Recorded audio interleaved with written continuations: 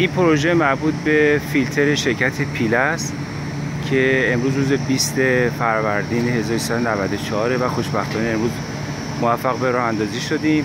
الان فیلتر در حال کار هست.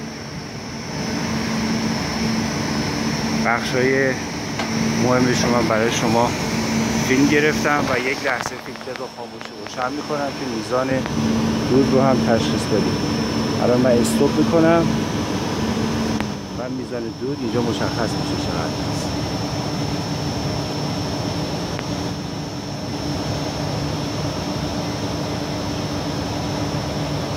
خیلی زیاده خیلی زیاده.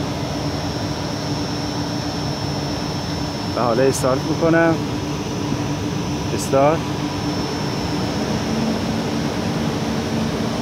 حدود 5 ثانیه 6 ثانیه طول می‌کشه. تا بالای 95 درصد راندمان رو شما می‌تونید رو خروجی اگزوز ببینید. کاملا خروجی اگزوز پاک میشه.